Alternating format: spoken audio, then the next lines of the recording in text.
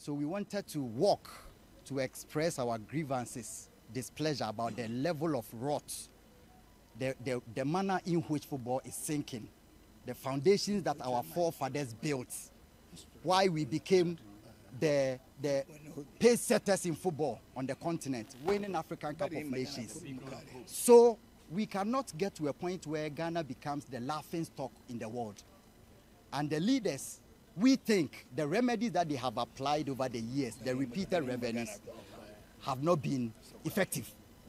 We have put together a recommendation petition, and we think that over 2,000 supporters who worked with us More than believe that. that, this, Uh, me, I'm more than, I'm more than, I'm more, More than, than 10,000. and we believe that this, together with other recommendations, will help uh, in, in transforming Ghana football.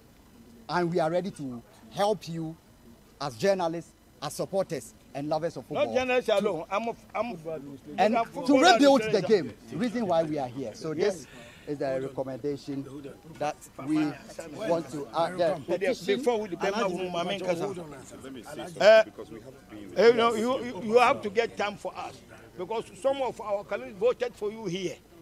But what, what, uh, Okay, can I say something, Alhaji? Yes. Just a minute. Colleagues, first of all, let me welcome you for and on behalf of the Speaker.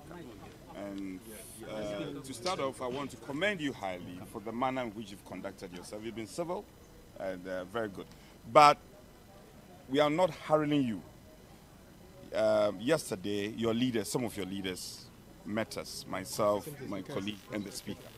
So the arrangement is that we'll take the, we'll receive this, the petition for and on behalf of uh, the Speaker of Parliament. And then, coincidentally, myself and the whip has planned that today the Minister of Youth and Sports is in the chamber and he's delivering a statement on AFCON. So you are also going to be admitted into uh, the, public gallery, and then you will listen and listen to the debate and the flow. So we'll make sure this goes to the speaker and not just presenting it to the speaker. There are other consequential actions that we are going to take, and we'll communicate duly. So let's not belabor the point. But what I want to say is that all of us here are concerned, and we are passionate about the happening, not just in football, sports generally, and, and what is, uh, is turning out to be. So we are all concerned. Don't take it for granted that we are just receiving, Alhaji, with respect, we are not just receiving this petition and then we get it dusty on the shelves. We will do what we have to do as part of the players to So, make sure so that we follow us. Come, uh, they will direct you to the gallery. So we'll go to the gallery and then you let Yes.